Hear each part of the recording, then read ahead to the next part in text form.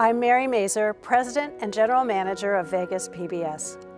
I'm excited to begin my tenure in this role and lead this forward-thinking organization committed to creating an informed and engaged community through high-tech, high-touch experiences that educate and empower individuals and organizations in Southern Nevada. It's a great honor to follow in the footsteps of longtime General Manager Tom Axtell. I have long admired Tom's work and the meaningful accomplishments he made in the local and national public media arenas. We will continue to build on his legacy.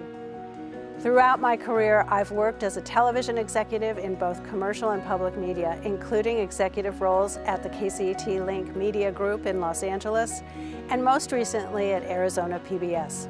2020 was a tough year for many in our community. As a public service, Vegas PBS was there with changes in programming to support distance learning, public service announcements to keep the community informed, and a wide range of COVID-19 online resources. In light of this active response, the station was awarded the 2020 Nonprofit of the Year Award from Vegas Inc. None of these accomplishments are possible without your support.